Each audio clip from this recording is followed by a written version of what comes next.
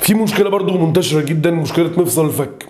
وللأسف المشكلة دي نتجه لدكتور تاني غير دكتور الأسنان أو غير استشاري جراحة العقوبه الفكين إيه بقى مشكلة مفصل الفك دي؟ مفصل الفك عبارة عن مفصل موجود في المنطقة دي. معايا فين بقى؟ عند ودني هنا.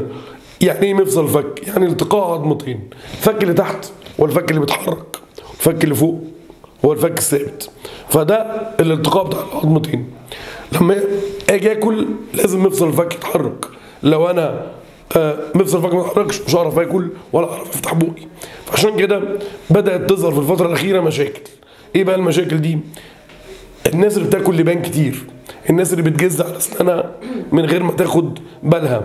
الناس اللي under stress تفضل تجز على أسنانها بتتعصب كده. دايما بيسمع وجع بيجي في ودانها. فهي تروح بالغلط لدكتور الأنف والأذن. ليه بتروح لدكتور الأنف والأذن؟ لأن المنطقة دي بتنمي جنب الودن. فبينمي بيبقى مسؤول عنها العصب اللي بي إيه؟ اللي بيبنج الودن. فبيسمع فين؟ في الفك. فيسمع الصوت ده. ده بي- يسمع صوت إيه بقى؟ طرقعة وجع. الكلام ده كله على طول يخليه يروح لدكتور الأنف والأذن. فدكتور الأنف والأذن يكشف على ودانه. يكتشف ان ما فيهاش حاجة والمشكلة جاية منين؟ من مفصل الفك.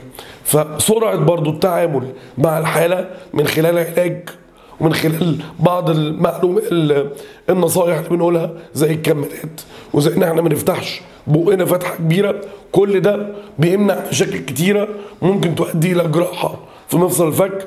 وساعتها بتبقى مشكلة لأن الجراحات اللي في المفاصل عادة ما بتبقاش ناجحة بنسبة 100%